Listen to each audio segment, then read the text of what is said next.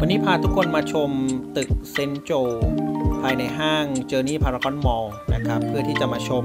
โบราณวัตถุที่อยู่ในแคตตาล็อกของเอกชน เป็นเครื่องถ้วยจีนโบราณต่างๆ รวมไปถึงเครื่องถ้วยที่พบจากแหล่งเรือจมในพื้นที่ประเทศมาเลเซียนั่นเอง โดยเราจะต้องเดินเข้ามาที่ Gurney Paragon Mall นะครับ เพื่อขึ้นบันไดเลื่อนไปยังชั้น 3 ของตึก St. Jo ก็คือตึกเหลืองๆที่อยู่ข้างหน้าเราเนี่ยนะครับ โดยนิทรรศการที่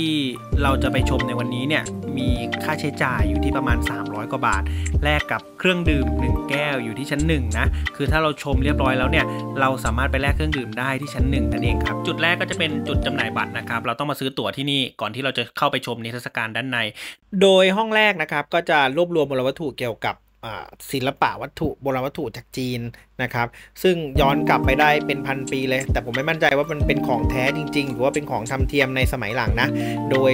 แต่ละชิ้นเนี่ยก็จะมีการบอกเล่าเรื่องราวข้อมูลต่างๆ ที่น่าสนใจแล้วก็ค่อนข้างที่จะแตกต่างกัน ห้องที่2นะครับจะพูดถึงเส้นทางสายไหมทางทะเล โดยมีคาบสมุทรมาลายูเนี่ยถือว่าเป็นหับของพื้นที่เซาท์อีสเอเชียนะครับอย่างที่เราทราบกันดีว่าเส้นทางสายไหมทางทะเลเนาะมันเริ่ม ต้นที่จีนไปยังคาบสมุทรเปอร์เซียนะครับก็ในห้องนี้เนี่ยเขาจะบอกเล่าเรื่องราวต่างๆ ให้เราได้ฟังกัน พี่ที่เป็นผู้ช่วยพันลักษ์ของที่พิพิธภัณฑ์แห่งนี้เนี่ยก็ค่อนข้างที่จะให้ความสนใจแล้วก็มาร่วมแลกเปลี่ยนกันนะครับโบราณวัตถุหลายชิ้นก็ มาจากแหล่งเรือจม หลายชิ้นก็พบในพื้นที่